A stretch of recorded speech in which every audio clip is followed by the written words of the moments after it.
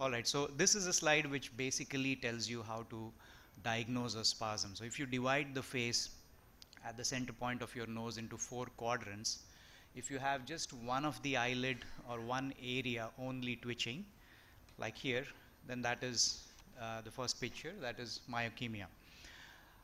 Bo upper half of the face when it is involved, uh, it is benign essential blepharospasm. So BEB is essentially a bilateral condition. It's like presbyopia.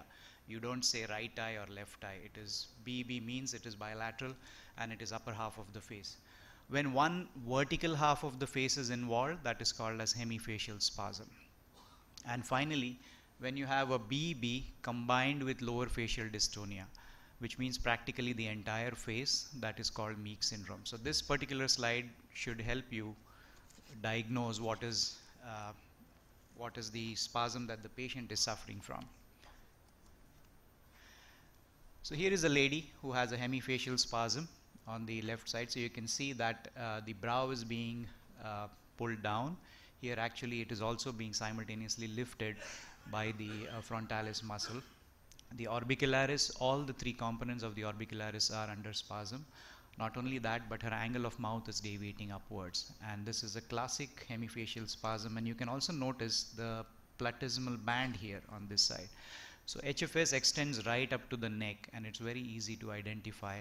So if you see someone who's having twitching around the uh, eyelids, just look at the rest of the face and if it is only on one side, then that is hemifacial spasm. This is a picture post uh, Botox, but we'll look at the video now. So uh, watch this patient have throw up spasm on the left side. You can see the contractures of these muscles. So this can practically be constant or it could be intermittent. And sometimes you may not see the spasm while the patient is with you. So just ask them to squeeze the eyes and then that can initiate a particular spasm. So that's the hemifacial on one side and that's after Botox. We'll discuss the uh, injections and the specific spots also during live session. Next slide, please. But here is a brief uh, description of where all you would inject. So typically there would be four to five sites around the eyelid region, one or two around the brow, and rest of the face depends on what the patient wants to be treated. So it could either be the upper end of zygomaticus major muscle. This particular spot is for the levator labii muscle which lifts your lips up. So these are all the muscles which are involved in hemifacial spasm. You could inject right up to the platysmal bands based on the interest of the patient. And we will come to these spots once again in great details while we show the live injection. Here is a patient of benign essential blepharospasm, actually a Meige syndrome patient because he also has lower facial dystonia. And this video is just to show you what kind of difference Botox can make in their life after the treatment or the therapy. Next slide. So here is another patient pre and post Botox. Next slide.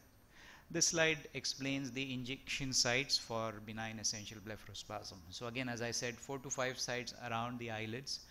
Uh, upper eyelid, there are pretarsal injections. One is above the punctum, the other is above the canthus. Lower eyelid, one is below the punctum, the other is below the canthus. Some people avoid this injection to uh, prevent uh, functional epiphora. Fifth one is a centimeter lateral to the lateral canthus. So these eyelid spots are fixed because this is BEB, we are giving it bilaterally. Brow, you can choose either one or two spots, but the more you keep these spots constant, you would know with time what's happening with increase or decrease in the dose. Next slide, please. So with that, I end the short uh, description of uh, Botox applications for spasm. I now invite Prerana to talk about the other in functional indications. Thank you.